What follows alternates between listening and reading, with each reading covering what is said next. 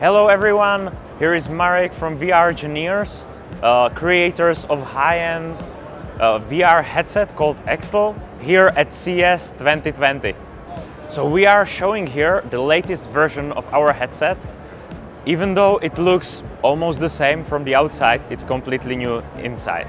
It has two 4K displays, full RGB stripe, crystal clear view, really uh, significantly improved lenses, and what's super interesting and convenient, as far as I'm aware, it's the first headset on the planet which is capable to operate via VirtualLink. So you are able to connect it via one cable to your NVIDIA GPU.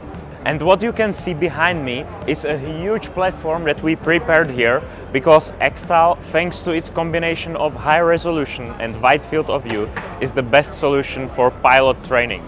On the 6DOF platform, manufactured here in Las Vegas uh, by 6DOF Motion, it weighs about half a ton and it is capable to carry about one ton. So a full cockpit with two people aboard.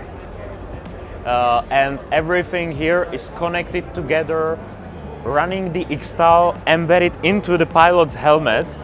And the GPU that we are using here is provided directly by NVIDIA, it's Quadro RTX 8000.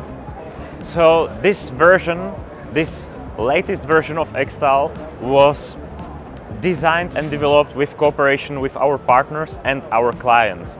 From the partners, I would like to mention for sure NVIDIA, BizLink, the developers of the cable itself, uh, as well as AMD or BOXX, the provider of high-end PCs. Uh, on the other side, from the clients, the most influence we got from German and UK automotive, as well as from US military. So the version that you can try out here was actually developed and co-designed together with US Navy and US Air Force based on their demand. And the first headset that will be shipped will most likely be provided, for example, for McLaren or British Aerospace Engineering in UK.